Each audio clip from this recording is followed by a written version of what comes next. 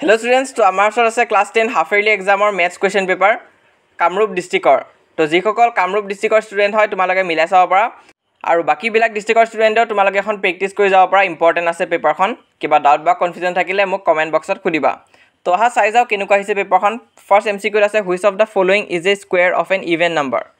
তলৰ কোনটো এটা যুগ্ম সংখ্যাৰ বৰ্গ। ইয়াৰ কাৰেক্ট এনচাৰটো হ'ব option B two fifty six তাৰপিছত নেক্সট কুৱেশ্যনটো চোৱা। How many natural numbers are there between eight square and nine square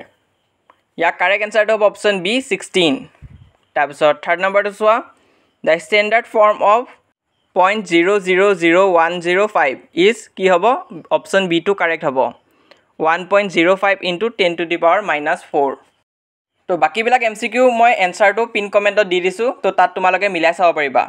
তো নিজেও এটেম্প কৰিব চেষ্টা কৰা এম চি কিউখিনি আৰু লং কুৱেশ্যনখিনিও বেছি ইম্পৰ্টেণ্ট আছে এই পেপাৰখনত তো চাই যোৱা কিবা ডাউট বা কনফিউজন পালে মোক কমেণ্ট বক্সত সুধিবা।